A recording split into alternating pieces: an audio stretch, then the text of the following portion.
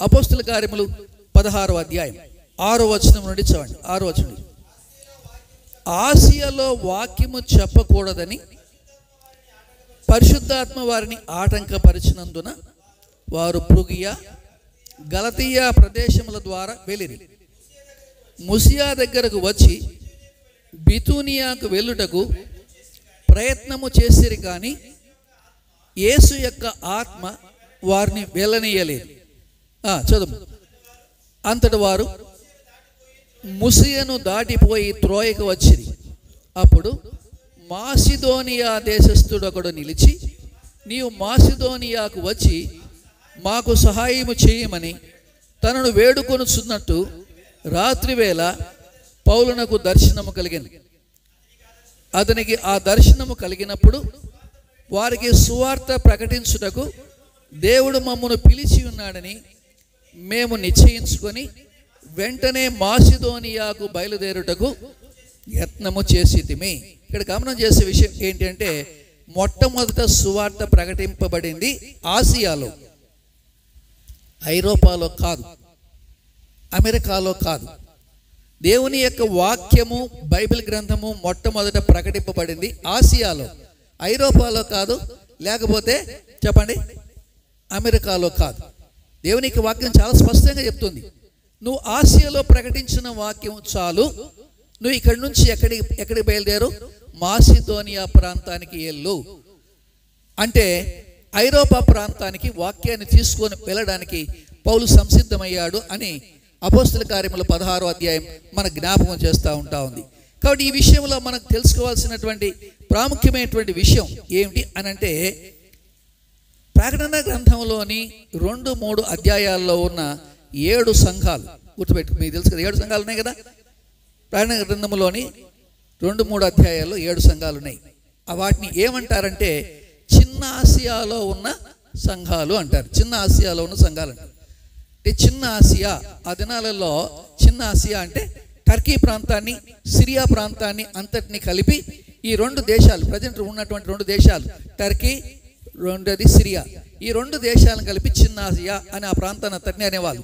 ఆ దేశాల్లో ఉన్న ఈ ఏడు సంఘాలలో దేవుని యొక్క వాక్యం అప్పటికే ఉన్నట్టుగా మనం చూస్తూ ఉంటా ఉన్నాం. కాబట్టి దేవుని యొక్క వాక్యము గుర్తుపెట్టుకోండి. మొట్టమొదట మనకే వచ్చింది. మనమే విన్నాం.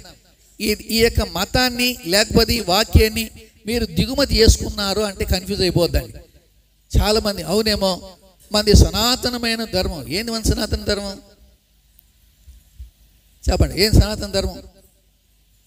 సనాతన ధర్మం అయితే ఒక పని చేయమని చెప్తాం మనది సనాతనమైన ధర్మం అయితే. అర్థమైందా? మన సనాతన ధర్మంలో ఏముందంటే భర్త చనిపోతానే భర్తతో పాటు భార్యను కూడా ఏం చేయాలి? కాల్ చేయాలి మరి కాల్ చేద్దామా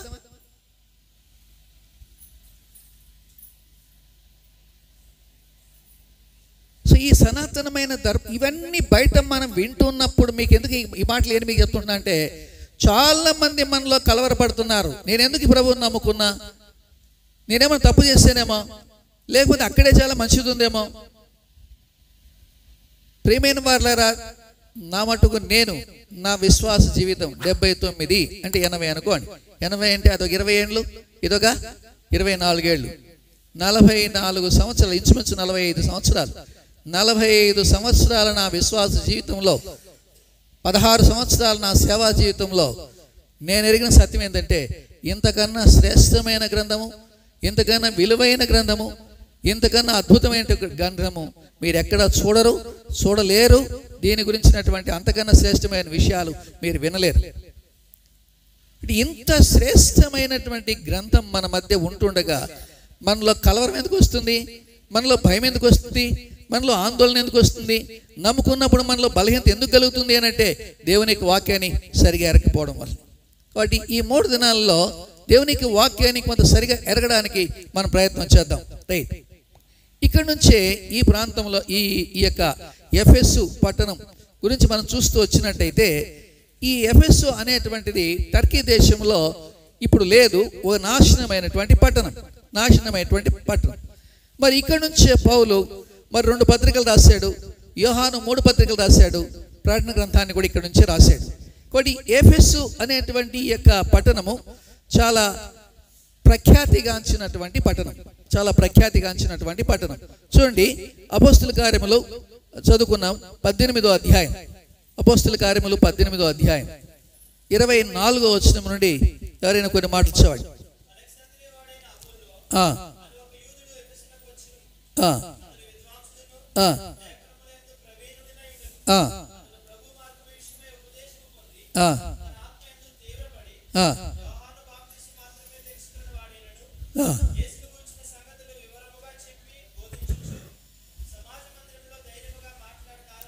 గమనించి ఇక్కడ ఎఫ్ఎస్లో ఉండేటువంటి ఈ యొక్క పట్టణంలో పరిచర్య ఆరంభించినటువంటి వాడు అపోల్లో అనేటువంటి ఒక విద్వాంసం చాలా జ్ఞానం కలిగేటువంటి వాడు. పరిచర్యను ఆరంభించాడు. చాలా విషయాలు మాట్లాడుతూ ఉంటూ ఉన్నాడు. ఎన్నో విషయాలు చెప్తూ ఉంటున్నాడు ఇక్కడ మనం చూస్తుంటున్నాం. ఆ, అపోల్లో అని ఒక యూదుడు ఎఫెస్కు వచ్చాడు. అతడు విద్వాంసుడు లేఖనముల ఎందు ప్రవీణుడు. అతడు ప్రభువు మార్గం విషయమై ఉపదేశము పొంది ప్రభువు మార్గము అంటే చాలామంది ఏమనుకుంటాడంటే మార్గము అంటే చెప్పండి. పౌలు కూడా అన్నాడు. ఏం చెప్తూ వచ్చినాడు? అపోస్తుల కార్యములు తొమ్మిదో అధ్యాయం. చూడండి. అపోస్తుల కార్యములు తొమ్మిదో అధ్యాయం. ఆయన ఒక మాట జ్ఞాపకం చేస్తూ ఉంటూ ఉన్నాడు. చదువుకున్నాం తొమ్మిదో అధ్యాయం రెండో వచనం ఎవరైనా చూడండి. లేకపోతే మొదటి రెండు వచనాలు చూడండి. సౌలు ఇంకను ప్రభు యొక్క శిష్యులను బెదిరించుటయును హత్య చేయుటను తనకు ప్రాణాధారమైనట్టు ప్రధాన యాజకుల యొద్దకు వెళ్ళి ఈ మార్గమందున్న పురుషులనైనను స్త్రీలనైనను కనుగొని నేడల గమనం చేయండి. ఇదొక మార్గము ఇది ఒక మతము కాదు.